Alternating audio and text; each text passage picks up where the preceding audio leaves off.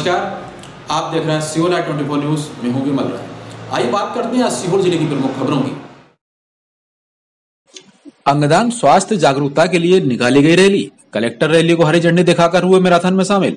अंगदान एवं स्वास्थ्य जागरूकता के लिए एक दिसंबर को Bhopal society for organ donation और भोपाल रनर्स क्लब के द्वारा भोपाल शहर के सबसे बड़े event half marathon run Bhopal run का आयोजन किया जाएगा।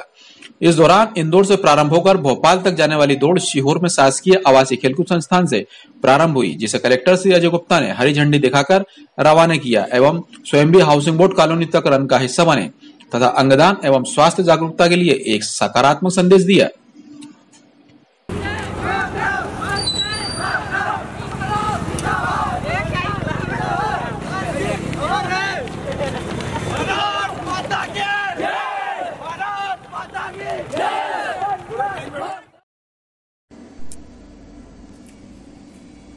मध्य प्रदेश सरकार के द्वारा पिछले दिनों मिलावट के खिलाफ अभियान चलाया गया है।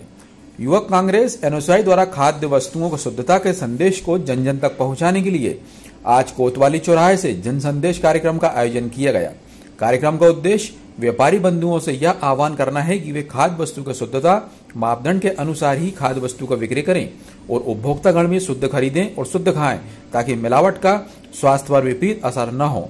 और आम जन को कम से कम कैंसर हार्ट अटैक लकवा जैसी बीमारियों का सामना न करना पड़े। नहीं चलेगी। नहीं चलेगी कमलनाथ जी। जिंदाबाद। राहुल गांधी कांग्रेस पार्टी। जिंदाबाद।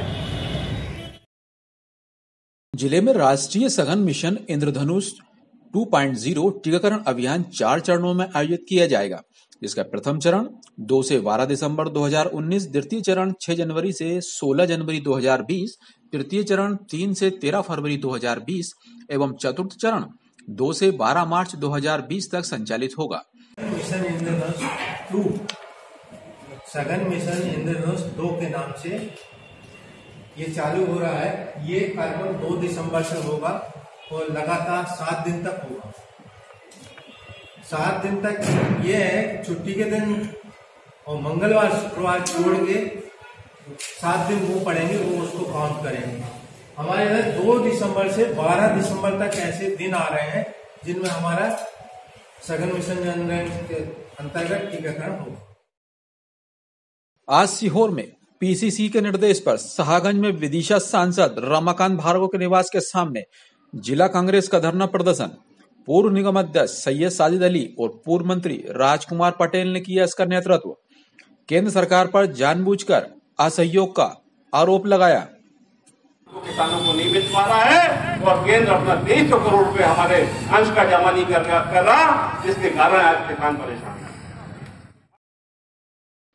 जवाहर नवोदय विद्यालय में प्रवेश परीक्षा के लिए आवेदन 10 दिसंबर तक। जवाहर नवोदय विद्यालय श्यामपुर के प्रचार ने जानकारी देते हुए बताया है कि कक्षा नवी में सत्र 2020-21 में प्रवेश हेतु परीक्षा के लिए ऑनलाइन आवेदन 10 दिसंबर 2019 तक आमंत्रित किए जाएँगे। आवेदन पत्र निशुल्क होगा, जिसे नवोदय विद्यालय समिति की वेबसाइट पर जाकर भरा जा सकता है। प्रवेश चयन परीक्षा 8 फरवरी 2020 को आयोजित की जाएगी। प्रवेश चयन परीक्षा हेतु आवेदन करने के लिए अभ्यर्थी को ज़िले के शासकीय या मान्यता प्राप्त विद्यालयों में शैक्षणिक सत्र 2019-20 में कक्षा आठवीं में अध्ययनरत होना चाहिए तथा अभ्यर्थी का जन्म दिनांक 1 मई 2004 से 30 अप्रैल 2008 के मध्य होना चाहिए। यह नियम अनुसूचित जाति एवं अनुसूचित जनजाति सहित सभी वर्गों के अभ्यर्थियों पर समान रूप से लागू होगा।